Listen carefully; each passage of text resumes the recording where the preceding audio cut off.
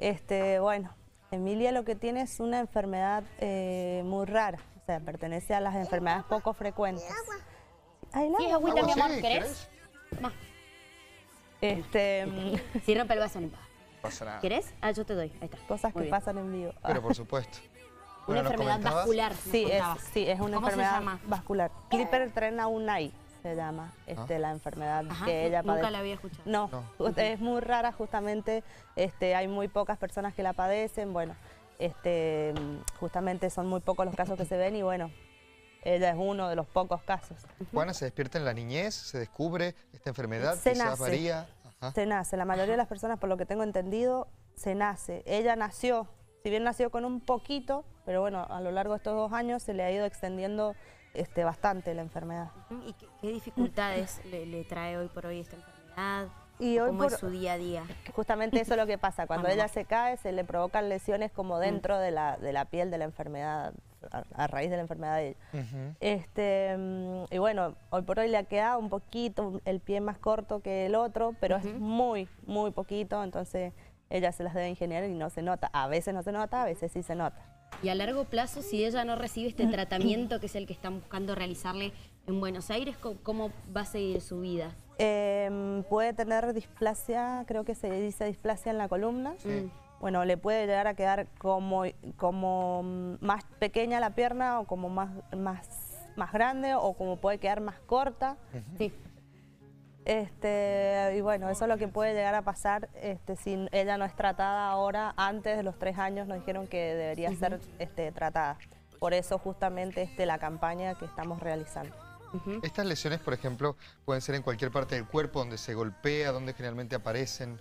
Eh, por lo general, o sea, las lesiones se provocan, eh, si ella se cae, ¿qué mi amor? ¿Estás escribiendo? Está dibujando. Y bueno, escribí. Este, por lo general, si ella se golpea, las lesiones se hacen dentro de la enfermedad, o sea, dentro de las partes que están lesionadas. Si ella se golpea la rodilla, se le, se le lesiona ahí adentro, digamos. Y eso es lo que genera dolor. A ella, por lo general, siempre tiene mucho dolor.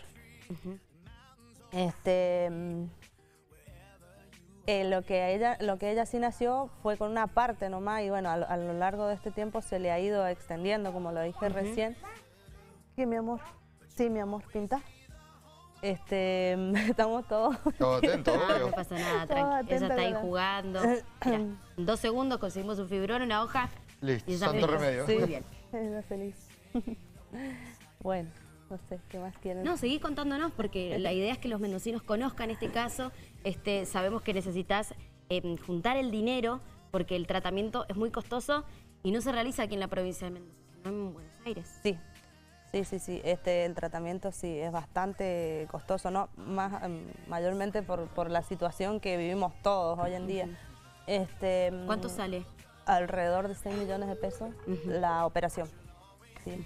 Esto, o sea, eh, lo que encarece más, eh, más el, el costo son unos estudios que van a, Buen- a Buenos Aires, perdón, no, a Estados Unidos. Ah, muy bien.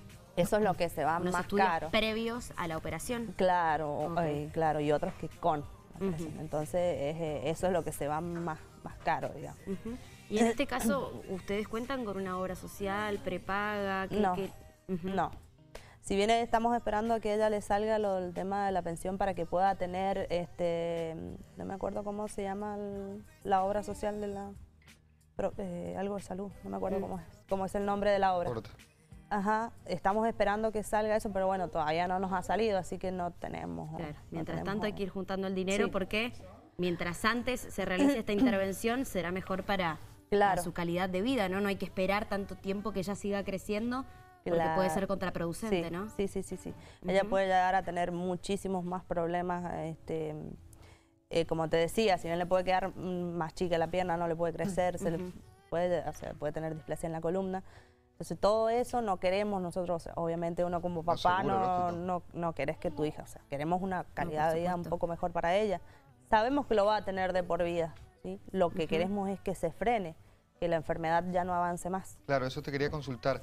El- luego de la intervención, ¿esto eh, puede colocarse como una suerte de, de freno? ¿Esto va a continuar avanzando con el tiempo? ¿Tiene cura? ¿No tiene cura? ¿Cómo es a largo plazo? Y esto es, se trata, Bien. se trata.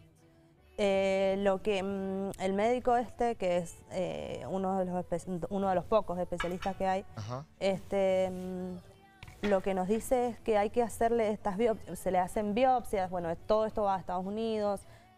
ella en la espaldita tiene una partecita que, no sé, como lo que me explicaban, es como que son como tumorcitos, ¿no? Pero el de la espalda es como que está entre la piel y, la musculatura o algo los tejidos, los músculos. Eh, entonces ese es el que se puede quizás llegar a extraer. Entonces ese es el que vamos a enviar, bueno, ellos van a enviar a Estados Unidos. Para que lo analicen. Para que lo analicen. Bien. Eh, entonces, ¿qué era lo que me habías preguntado? No, no, ¿cómo es a largo plazo el tratamiento? Si es con tratamiento, ¿cómo se lleva Bueno, eso era.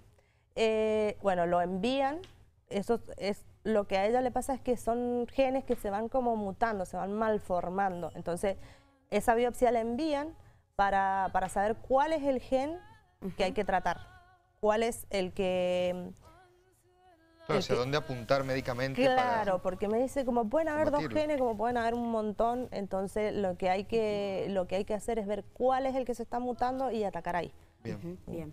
Entonces lo que lo que en teoría se haría es, si eso se puede llegar a extraer de la espaldita, entonces eso nos serviría ya ya no tendríamos que volver a hacer el mismo estudio, digamos. Entonces eso ya le serviría a ella de por vida para, para poder ponerle que hay otra complicación, otro gen. Bueno, estudio a, esa, a eso que se le sacó para volver a tratar, este, para volver a tratarlo.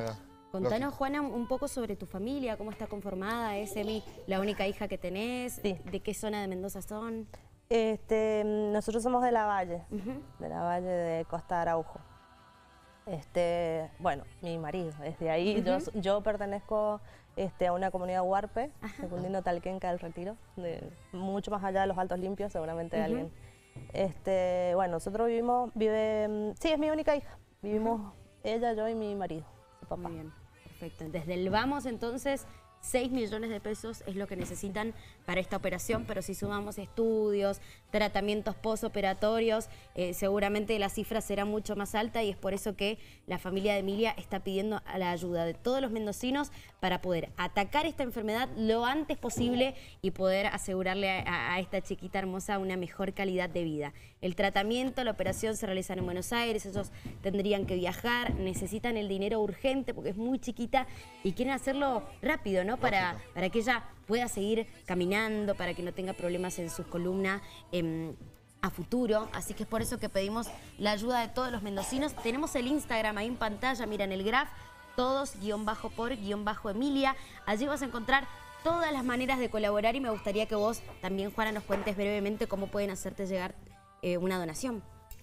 Bien, este, habíamos, eh, hemos hecho una cuenta este, del mercado eh, de mm, el alias es todos por Emilia.2023. Bien. Es muy importante que pongan el punto, ¿sí? Porque te cuento, nos pasó que alguien se hizo una cuenta. No. sí. Qué horror eso. Cuando empiezan a falsificar los perfiles. Sí, hay que tener mucho cuidado. Sí, sí, sí. Y hubo muchísima gente que lamentablemente, bueno, depositó a esta otra cuenta sin saber, este, bueno. la, sí. La cuenta está a mi nombre, eh, Juana Yelén Suárez, sale en la cuenta. Bien, fíjense que aparezca eso. Este, así que bueno, nos pasó eso, así que por eso les pido que es muy importante que pongan el punto. perfecto. ¿Y querés dejarnos un número de teléfono, Juana, por si alguien está interesado en comunicarse, hacerte llegar alguna ayuda? Sí, sí, eh, justamente estamos recibiendo donaciones este, porque realizamos lo que son eh, rifas, bingos, este, todo eso estamos haciendo, ¿sí?